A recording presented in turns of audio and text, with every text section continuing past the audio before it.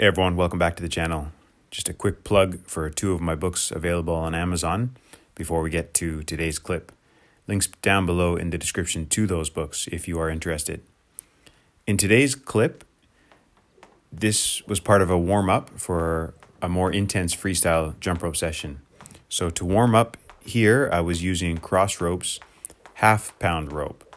So because it's a little bit heavier than say the quarter pound rope or your basic PVC rope, you will tend not to spin the rope as quickly. So you have a little bit more time to execute or implement a trick. So here I wasn't going too fast. Sometimes actually going slow can be more challenging in terms of your timing because you have to be more patient in that you have to keep your feet on the ground a little bit more than you would when you were using a lighter rope, which you can spin faster.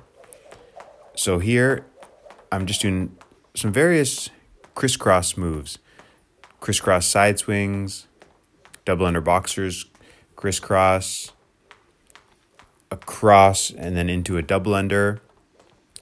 When you cross your, say, left arm over your right and then your right arm over your left, so performing crisscrosses in alternate fashion is a fantastic way to work your coordination. So in just a moment, I will show the clip again in slow motion in case there is any move that you want to perhaps try yourselves.